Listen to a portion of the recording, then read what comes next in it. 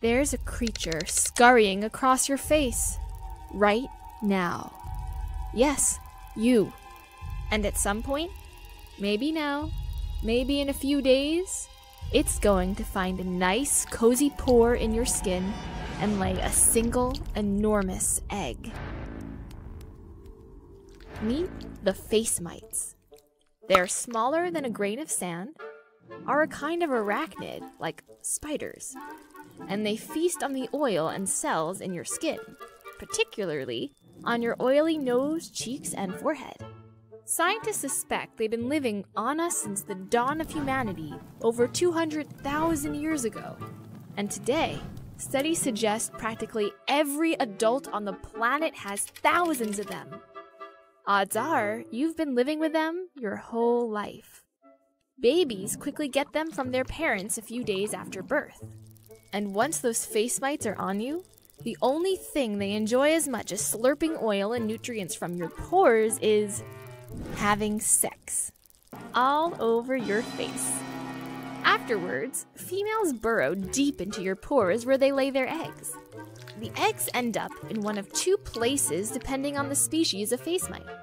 The first species, called Demodex folliculorum, lays its eggs in your hair follicle, while the second prefers nesting in your sebaceous glands.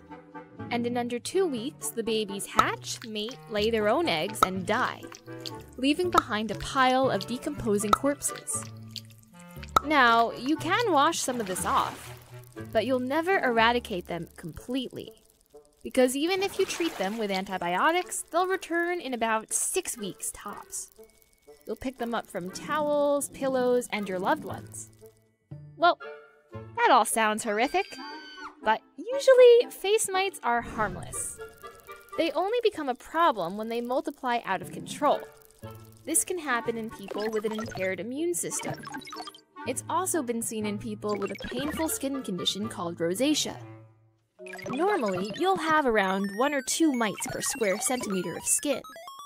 But one study found that people with rosacea had 10 times the normal amount. Believe it or not, in some cases, face mites can be useful.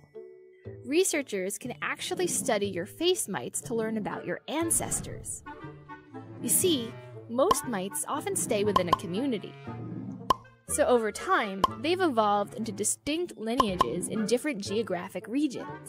And by comparing their DNA, scientists can trace how different groups of humans migrated across the world.